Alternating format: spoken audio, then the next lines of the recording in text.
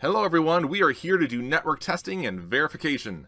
Not using the GUI, we're going to be using the CLI, the command line interface inside of our Windows 10 box. Now to do it, we can get there a couple different ways. It really starts with start. If you wanted to, you could type in command prompt and that would take you pretty quickly right to it. Um, or we can use start and take the longer route, typing in run and opening a run box. Or I can use Windows R to get to our run box. Or I can right click on that start button and click on run and get a run box. Um, from there in the run box, we would type in CMD, like cat, mouse, dog, CMD, and uh, click OK. And from there, it opens up our command prompt. I'm going to resize it a little bit for our video purpose. That's looking great. And now what I'm going to do, just for more room of typing, I'm going to type CD followed by a backslash and hit enter. And this will just take my prompt back to the directory of root directory, the C drive. This is just for purpose of having more room to type. So I'm going to use the first network testing command I want, and that is ipconfig. And when I enter the ipconfig command, we get some basic info here. I get the IP address of the end device I'm on, which is my user computer, which is 192.168.196. I get the subnet mask, which talks about the network size, how many IPs exist on this network. I have the default gateway, which is the router's IP address that my machine is going to to leave the local network. Now this is all fine and great, but if I want to see more info, like what DNS server is my user actually utilizing in order to go out to the web and search names? Well, to get that type of info, and also to get info about my MAC address of my device, I would use the command ipconfig space forward slash all. And when I hit enter, it's going to be a larger output. So here's the original command at the top, and here's my output. The name of my device is displayed. The MAC address, which is known as the physical address of my machine, is also displayed. Below that, we get more info as well, such as here is our basic of info we saw before. Link local IPv6, my IPv4 address, subnet mask, default gateway. But check it out, we even get the listing for our DNS server, who we're going to to ask for information about a name to be translated to an IP on the web. So we see a lot more info here with our IP config. Now let's take this onwards and let's talk about one of our network testing tools that we like to bring up, and that's going to be ping. Ping stands for Packet Internet Network Groper. And the idea of ping is we want to reach out and touch something. So what I can do is type the command ping, and I can follow it by a target. And that target can be a Cisco target like 208.67.220.220, and I'll hit enter, and my machine is going to toss out ICMP echo requests. And these are four, that's how Windows does it, four echo requests. And when they go out, I get four echo replies back. I said, four, are you there at this address? And I got four responses, yes, I'm there at that address. So I can see that I have reachability. Now this just tests layer 3 regarding the idea of the network layer of the OSI model, and what this is referring to is I can reach something by targeting an IP address. But what if I want to make sure that my PC can actually reach something by targeting a web address? What if I said, for example, this, ping www.cisco.com. By doing this, I'm telling my computer to reach out and hit the name cisco.com, which means step one, when I do this, my PC is actually going to the DNS server that we've seen above and saying, DNS server, who is cisco.com?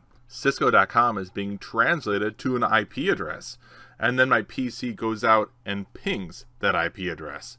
We're getting responses back from that IP address that my PC found was 104.66.32.105.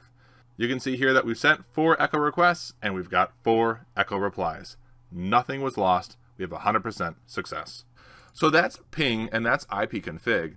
And for both of these, you can use your help modifier and command line, and that's again your going to be your slash followed by a question mark, in order to be able to view other options that exist, because there's many of them, and we can take a long time going through those, but we're not going to do that. Now, what if we want to just test DNS? To test DNS, there's a command called nslookup.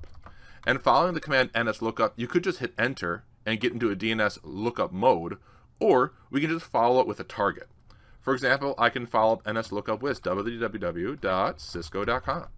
And if I hit enter, my computer polls and says, hey, DNS server 1111, who is www.cisco.com?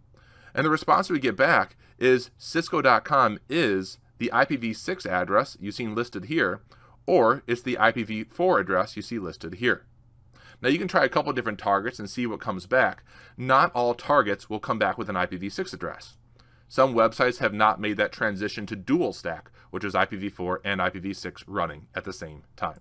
So this is all fun and cool, but this is how you can check to see if you actually have successful DNS lookups to a website. Now, on top of all this, there's another command that we like to bring up, and this one is called netstat. And this is a personal favorite of mine. There's a lot of options for netstat, so make sure you use the help command to really view them all. With netstat, what we can do here is take a look at open ports and connections from our machine right now. Like, what is our machine connecting to right now on the network? Well, following netstat, there's a couple different modifiers and switches I like to use. The main one I do is hyphen B. With hyphen B, this is going to give us the actual process of our machine that is opening this connection. Also, I'll use hyphen N because I don't want to have to wait for DNS name resolution for each individual session my computer has at this moment. I'll go ahead and click enter. Now, boom, it failed on you. Why? Because when I created this command prompt, I created it from the user account of student. This requires elevation. This is a system command that I need to open up another command prompt and be able to use permissions of administrator. Let me show you. I'll click start. I'll type command prompt. And I'm going to use the run as administrator option, where I could have just right clicked on it and did run as administrator. When my new window opens up, yes, I want access. And here we are with the default directory of Windows System 32. Again, I'm just going to back up using my cd backslash, and now I'll do it again. netstat, and then followed by hyphen b and hyphen n. When I click enter this time, take a look at this. Based off of the services and protocols and applications running on my machine, I can take a look and see my PC's IP address and port number, known as a socket, source, reaching out to this destination target and port number, that destination socket, and then what service is being utilized on my computer. Now, if you had other applications open inside of here, there's Microsoft Photos.exe, there's a connection out, there's this one that's connection out. You can read through all these different items. And we don't have any name translation because I used hyphen N as a switch. And here we can see these, number one, .exes and other items because these are based off of the hyphen B switch. So have some fun with it and use your tools to troubleshoot your connections, view what's occurring, and verify what your machine is connecting out to on the web. Again, you can spend a lot of time with these commands and switches, so please make sure that you use that help command. For example, netstat space forward slash question mark. When I hit enter, we see all the switches and possibilities for using netstat. Utilize these commands, become that IT professional,